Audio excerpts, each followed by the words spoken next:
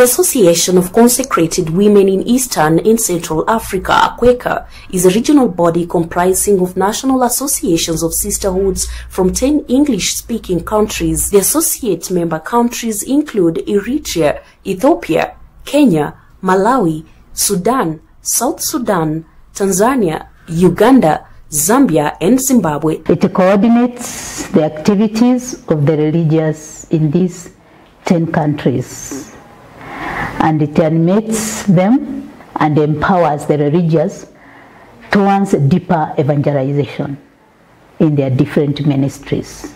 The association organizes periodical plenary assemblies meant to review and evaluate the achievements as guided by the strategic plan. With the theme that we have taken for the assembly, that is reawakening our prophetic role and a call to reformation towards holistic transformation in our region, in the ACWECA region. I am hoping that within those five years to come, the sisters will have looked at their prophetic role. We got this prophetic role in our baptism, and this is the time to examine and see how prophetic are we in our world today. We have different programs and departments, and all this, they help, they focus on the mission of ACWECA. And these programs include leadership formation, Sisters Blended Value Project, strengthening the capacity of women religious in early childhood development project, we have finance department, uh, we have communication department. The 2017-2022 strategic plan highlighted five key areas which entailed formation and mission, family and youth ministry, justice, peace and integrity of creation, organizational development and growth, and the response to the COVID-19 pandemic. In order to promote the vitality of religious life in the region, ACWECA reaches out to more than 300 congregations through their national associations. For the past three years, ACWECA has achieved a lot in areas of formation and mission through different apostolates. Through our donors, we have been able to support the elderly sisters in the, uh, in the region by providing food foodstuffs, by providing a personal protective equipment, which they needed during this corona time. Uh, we have been able even to distribute some food to the neighbors who lost their jobs, but they needed bread on the table. So about or more than 61 families were supported by Yakweka Secretariat. All the Yakweka subsidiary bodies embrace formation and leadership to empower the sisters to perform their duties competently. Chemchemi ya Uzima trains formators and our formation training of formators is geared towards empowering these women religious with the skills that enable them to take up responsibilities in the initial formation. As an institution, we've been organizing programs and part of it is empowering the formators in the field. And when the formators in the field are empowered, they are renewed they are capacitated and they are given new energy to be able to meet the challenges of uh, experienced in the formation houses, especially in helping our young sisters in the initial formation. We have also taken through the sisters who are preparing for final vows. We have just finished a program we had 62 of them from different congregations, and because it was online, they were able to follow it from different parts of the world. And these sisters have been be able to go through the program. They have been able also to have the opportunity to go through counseling, which has also helped them to heal the memories or to heal the past experiences. Our trust information is that we want to form capacitated religious who are able to carry out Christ's mission in the contemporary world in Zimbabwe. And our objective in formation is that we want to holistically form members who are prophetic, inspirational, motivational, and imitators of Christ. We have also programs lined up for initial and ongoing formation. Currently, we have a novice week that is running for the novices within Harare, Mutare, and Chinhoyi. And in the month of June, we will run a novice week for the dioceses of Bulawayo, Hwange, and Gweru, respectively. And during the course of the year, we will conduct a one month training for the junior sisters and brothers who are preparing for their perpetual vows, as well as training spiritual directors and retreat givers within the country so that we increase our capacity for holistic formation. Leadership for Mission is a program launched in 2017 with the aim of promoting leadership and strengthening formation. Through this program, we train superiors through three modules. ACWECA is committed to its core mission of catalyzing sustainable and scalable solutions to alleviate poverty across the regional congregations participating in Sisters Blended Value Project. We have been able to enroll 18 congregations in the project at different levels. Sisters have been able to start off their social enterprises within their congregations. Sisters are able to use social media, they are able to communicate. So for, for us, this is an achievement at Akweka. At the moment, sisters have different projects. We have those ones who are running, who are having poultry farming. There are sisters who are in farming, coffee plantation. We have sisters who have gone in for piggery. And also some of the sisters that have tried to put this project of Sisters Blended Value into their schools and they're also engaging the pupils into the project so that they are able to learn the skills that they are able to use in the future. This SCORE ECD program impacts on family units by ensuring that children under the age of two thrive in a sustainable culture of care and support. SCORE ECD is a project that is contributing to the culture of care and support for children aged below two years in the provinces of Eastern, Copperbelt, Luapula, and Central. The project is implemented through the Teresian Sisters, Dominicans, Franciscan Sisters of Assisi, Sisters of Mercy, Franciscan Missionaries of Divine Motherhood, and the Little Servants of Mary Immaculate. We experience a lot of impact out there in the community and in the families.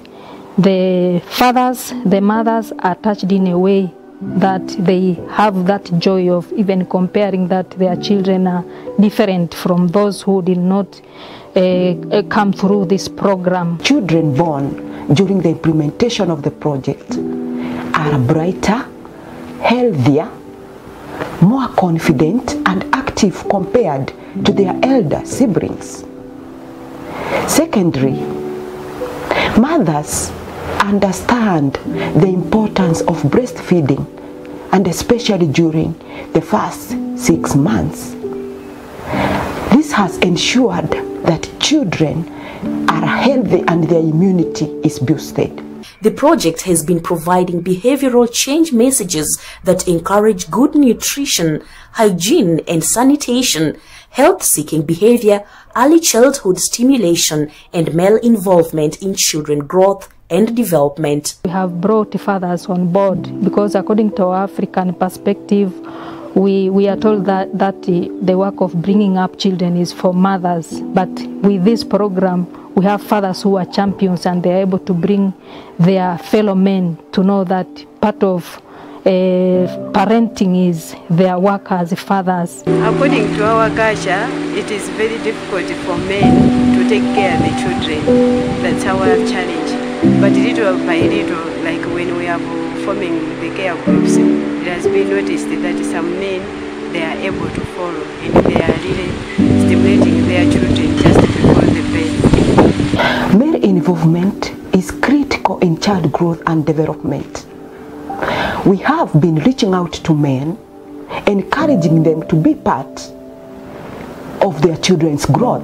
This complements the Ministry of Health Corps to pay attention to the first 1,000 days a child's development as they are critical. We have also developed a communication strategy which is being rolled out in various associations and various congregations to ensure that our master trainers out there, our champions, are able to communicate well with their various audiences, and especially when they need to work with other uh, stakeholders and especially children. How do they communicate with the children in various ages from zero age? How do you tell the mother to, hold, to, to handle the child? How does the father handle the child how do you deal with other stakeholders in the process of communication so that we are able to bring the information at home. The Association of Sisterhoods of Kenya, AOSK, a member organization of ACWECA, has had a number of achievements in line with the key areas of the ACWECA 2017 to 2022 blueprint. Uh, in the strategic plan theme 2 on uh, infrastructure, we have uh, developed uh, ya Uzima by increasing the conference facilities and the counseling rooms where we've been able to support congregations, bring in the formators, having one-on-one, those sisters who are tired in the service who come for rest and also for spiritual nourishment. We have uh, helped them uh, at least refresh and go back uh, to the service. We've also uh, brought in uh, new programs like youth empowerment where we support the youth of 15 to 25 years whom we have continued supporting them uh, socially as uh, the young people who are growing and who are going to be the leaders of uh, tomorrow. We've also strengthened our mail office on the monitoring and office desk which has been strengthened to support our performance uh, management system. Within this area, we've been able to strengthen and enhance our documentation, uh, bringing out the success stories and also collaborating well with our all stakeholders in terms of follow-up and documenting of our many programs that we are carrying out and the activities. We look forward to launching a new strategic plan which is going to give OSK a milestone in the area of programming, in the area of mission and formation, in the area of uh, family and youth ministry, and also justice and peace, just among the many programs that we continue bringing in the association. But how has the Catholic care for children in Kenya and the Catholic care for children in Zambia impacted on family and youth ministries? OSKCCK main goal is for holistic family and community-based care and to reduce recourse to institutional care so that children grow up in safe and loving families or communities. AOSK first of all began by creating awareness to all religious men and women and other lay Christians to know that there is need for children to grow up in loving and safe families or communities. We have seen for many years many children being neglected, abandoned, and some running to the streets because of conflicts in families. These children end up in sisters' institutions either in rescue centers or children homes or orphanages and uh, we feel there is a need of really empowering sisters to know and learn how they can also professionally care and protect for children. We have Catholic care for children in Zambia, CCZ. Through the pilot facilities, 41 children have been reunited with families in the Lufwanyama and Livingstone. ZAS is working with St. Martin Children Home and Luvase Home respectively. ZAS through CCZ is part of the broader Catholic Care for Children national initiative promoting the nurturing and care of children in families by working with child care facilities, Ministry of Community Development and Social Services, and five other partners that are promoting family-based care in the country, including UNICEF. ZAS is among these partners that are promoting deinstitutionalization of children by promoting reintegration effort and push the agenda of family-based care as opposed to institution. Thus is engaging the religious and the clergy on the need to, to change the model of care of all Catholic affiliated residential child care facilities in the country so that institutional care is only possible as a last resort. Catholic Care for Children in Uganda program was born mainly to transition from institution care towards child growing up in safe, stable and nurturing families or family-like environments.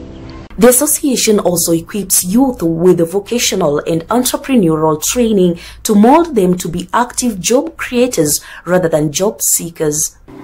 Our young people have been able to obtain trainings in different areas. Firstly, the psychosocial support. These forums were held within the 11 AUs that the program is in being implemented and the young people are able to be taught on various topics that appear to be a challenge, a challenge to them. These topics included drug and substance abuse, sexuality, youth and technology, parental and youth relationship, teenage pregnancies, among other topics that are crucial to our young people today. Realizing that young people today have no means of income, they have no employment, the SLYI is geared towards supporting our young people to become job creators instead of job seekers. And for this reason, the OSK SLYI invested in training our young people on various topics on entrepreneurship in order to enable them acquire the skills they need for future sustainability. In addition, we are using another program of the youth program, especially in northern Uganda. We have started with youth out of school, and uh, these youth are between 15 and 25 years. You know, this is the stage where they are tra transitioning from childhood to adulthood, and that period uh, is challenged by making choices. We established uh, some demonstration gardens, for example, uh, of uh, uh, mushroom growing, and right now we are harvesting mushrooms. The sisters are reporting to be harvesting mushrooms. The sisters are, repo are reporting to be already processing juices, they are ba baking, and the youth that are now being trained on hands are already in the program and they are doing very well. So for the family ministry, we have started from the children and youth, and I hope it will work out. In a bid to respond to climate change, ZAS and AOSK have in the past four years sensitized communities on the importance of sustainable utilization and management of natural resources for the benefit of the future generation. Hence, translating Pope Francis' encyclical of Laudato Si into tangible programs and interventions aimed at raising critical awareness in conservation of Mother Nature. This program looks forward to a better society. And therefore, when we talk about integrity of creation and justice and peace, these are both like intertwined. Injustices to creation or to nature is an injustice to humanity. When ASK was founded, uh, Justice and Peace, they couldn't reach to the grassroots and thus they trained women peacemakers. And across the 25 dioceses, these women have been champions of injustices, championing these issues, and they too champion the injustices we do to the environment. ASK Women Peacemakers, they champion a lot about planting trees, keeping our environment clean. The same with our human rights teachers. The human rights teachers have formed clubs in schools where these clubs are very vital they use these clubs to champion issues of environment. They first begin from where they come from.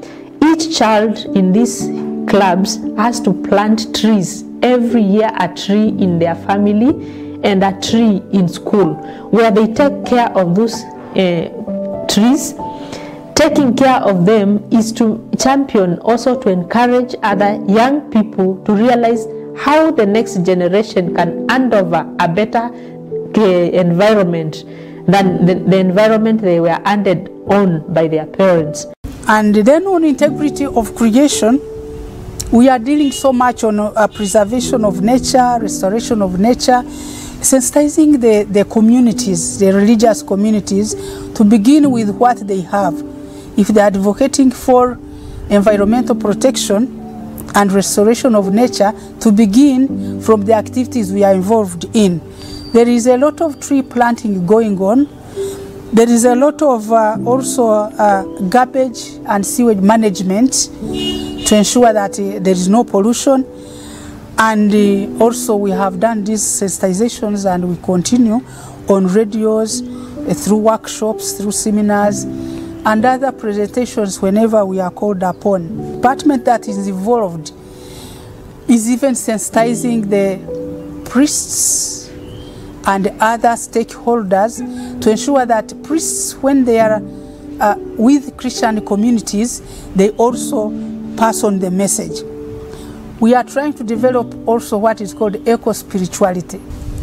Eco-peace projects in schools and institutions, and then waste management and control still in schools. Then the last part of ACWECA plenary outcome, again which is part of ARU's uh, a strategic plan was on organizational development. On this one, we are uh, ARU right now is going through an institutional assessment which started a year ago. And within that period of four years, we have developed policies policies which have helped us put in place systems to run the association efficiently. The financial department coordinates with other units to ensure effective implementation of different activities. So we have run a number of trainings to provide basic financial management and principle to these key stakeholders that I've talked about. We have also had a successful management of all the donor fundings and as a result we have retained a number of donors. We have also introduced a savings scheme for ACWECA because we know that we need to be sustainable as an organization. We have provided mentorship and coaching to a number of associations who their finances were not very strong in, in terms of handling. We have also established a strong donor relationship because of the transparent accountability that we have been providing. With the onset of the COVID-19 pandemic, the association also took up the initiative to sensitize members on the pandemic and reached out to the sick and elderly community members in different regions. In response to COVID-19, the association joined effort with the rest of the country. And between 2019 and 2021, it aired radio programs on COVID 19, donated personal protective equipment, PPEs, to vulnerable and marginalized communities, intervention on measure to mitigate the impact and the spread of COVID 19 are in place to date. I envision that the sisters are going to be signs of hope to our suffering world. And especially during this time of COVID pandemic, it has led to so many uh, challenges, emergency in health, poverty, loss of jobs, helplessness, the impact it has had on our ministries.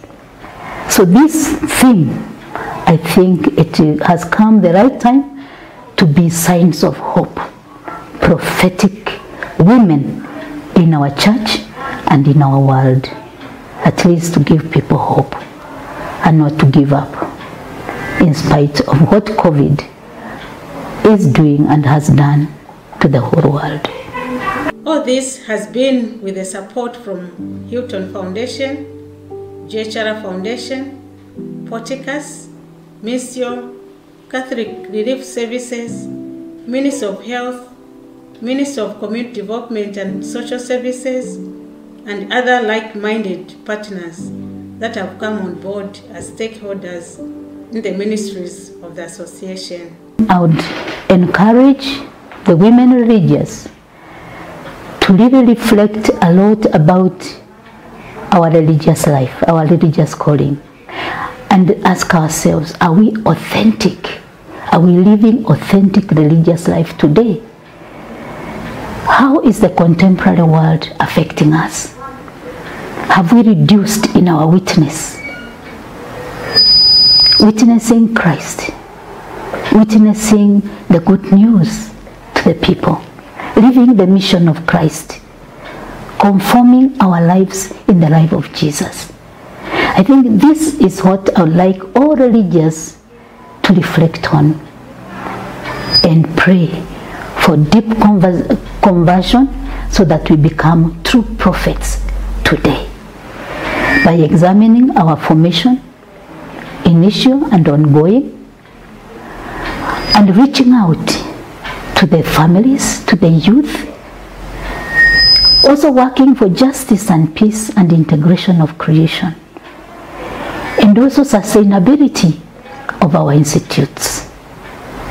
This is my message you today. Thank you.